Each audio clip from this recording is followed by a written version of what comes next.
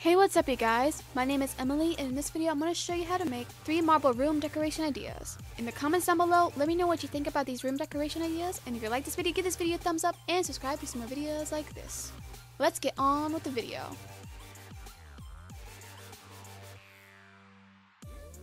The first idea I'm going to show you is a pencil holder. What you will need for this idea is a tin can, scissors, a pencil, a ruler, a glue gun, and you will need to print out some marble onto some photo paper or normal paper, and both types of paper will work fine for this idea.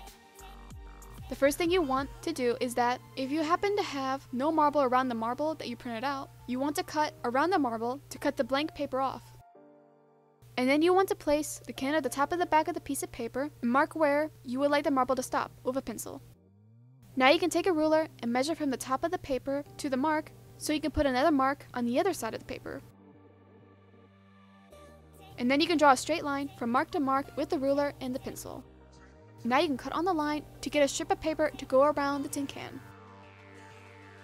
The last thing you have to do is to place the can in the middle on the back of the marble paper and take the glue gun and put a line of glue on the can and take one side of the strip of paper and put it onto the glue. Do the same thing for the other side of the strip of paper.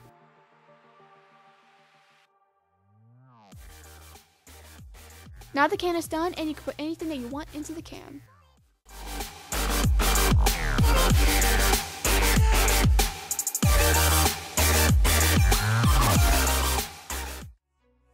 For the second idea I'm going to show you is this frame art idea. What you'll need for this idea is a frame, scissors, a pencil, and for the design that goes into the frame, you want to make the image in Canva, PicMonkey, or any design program will work. With a marble background into the picture and print it off. The first thing you want to do is trace the front or the back of the frame around the design. You cut the extra paper you don't want off, so it can fit into the frame.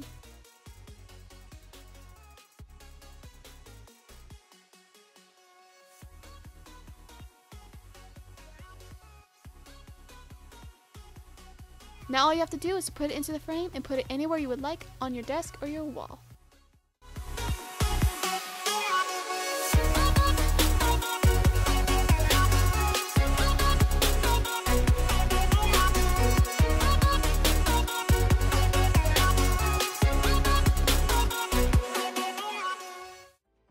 The last idea, I'm going to show you this tray idea. What you will need for this idea is a tray, one or more pieces of marble paper. It will depend on the size of your tray for the amount of pieces of marble paper that you will need to print out. I used two pieces of marble paper for mine. You will also need scissors, a pencil, tape, and a ruler. And if you want, you can also paint the tray any color that you want. The first thing you want to do is to cut around the extra paper that's not marble off. And make sure you try to keep the size of the paper even. Then you want to place one of the pieces of paper into the tray and mark off how much you need to cut off with a pencil. Now you can take a ruler and make a straight line for how much you need to cut off and cut the extra paper off. For the second paper, you can just trace the first piece of paper around the back of the next piece of paper and cut the extra paper off.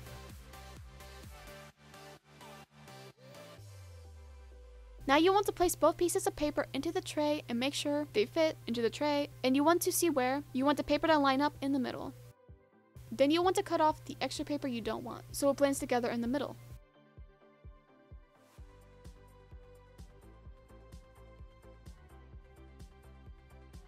If you want, you can put some paper under the marble paper so you don't see the bottom of the tray.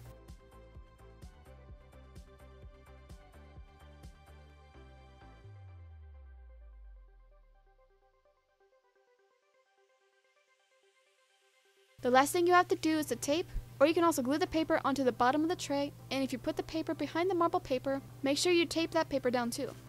Make sure where the marble meets is taped down flat.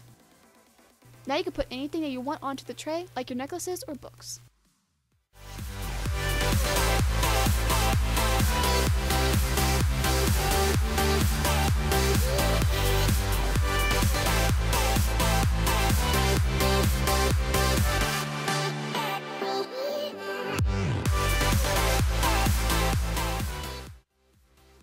And that's it for this video. In the comments down below, let me know what you think about these room decoration ideas. And if you like this video, give this video a thumbs up and subscribe to some more videos like this. I will see you in the next video. Bye!